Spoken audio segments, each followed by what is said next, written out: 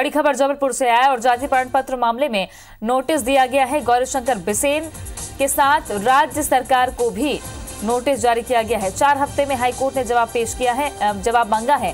बिसेन पर झूठी जानकारी देने का आरोप लगाया गया है। विजेंद्र लगातार बने हुए हैं। विजेंद्र, क्या है ये पूरी खबर? जी दृष्टि आपको बताना चाहूँगा कि पूर्व विधायक किशोर समरीते की ओर से जबलपुर हाईकोर्ट में एक याचिका दायर की गई थी और इसमें पूर्व मंत्री और भाजपा के विधायक जो कि बालाघाट सीट से हैं गौरी शंकर बिसेन उनके आय और जाति प्रमाण पत्र को चुनौती दी गई है।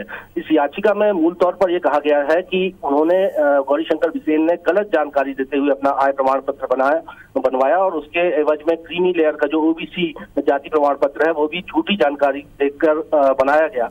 और याचिका में मूल तौर पर कहा गया है कि गौरीशंकर बिसेन ने वो 18 मार्च 2018 को, यानी विधानसभा चुनाव से पहले एक जाति प्रमाण पत्र और आय प्रमाण पत्र जारी किया गया था, लेकिन उन्होंने एसडीएम वारासिवनी को जो जानकारी दी थी, वो झूठी थी। उन्होंने ये नहीं बताया था कि वो पूर्व मंत्री और पूर्व विधायक रह चुके हैं, पूर्व सांसद रह चुके हैं, और ये जानकारी छिपाते हुए अपनी वार्षिक आय महज अस्सी हज़ार रुपए दर्शाई थी और एसडीएम वारासिवनी ने भी बिना अपने विवेक का इस्तेमाल करते हुए अस्सी हज़ार वार्षिक आय का एक आय प्रमाण पत्र आगे क्या इस पूरे मामले में आता है। शुक्रिया आपका विजेंद्र जानकारी के लिए।